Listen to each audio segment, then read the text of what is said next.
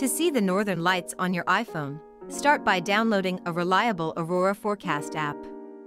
These apps provide real-time alerts and predictions based on solar activity, which is crucial for planning your viewing.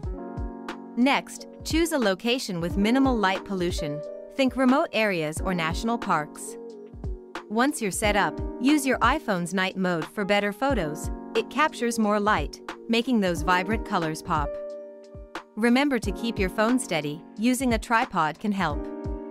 Dress warmly and be patient, the auroras can be elusive. With the right tools and a bit of luck, you'll capture the magic of the northern lights right from your device.